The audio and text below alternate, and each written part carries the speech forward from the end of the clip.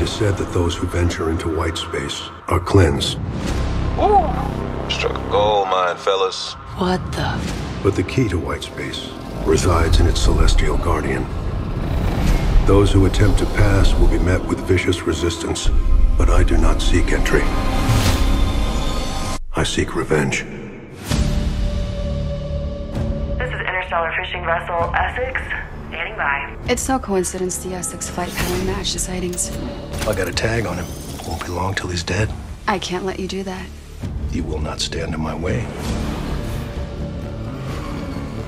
I have a guy that'll give us five seasons worth of hauls for this thing. And you expect to get a 16 ton creature across customs? Wherever that signal goes, we go. Captain, are you seeing this? We're about as far out as anyone has ever gone. We got two options go home empty handed or get the grand prize. Nothing is going to stop us.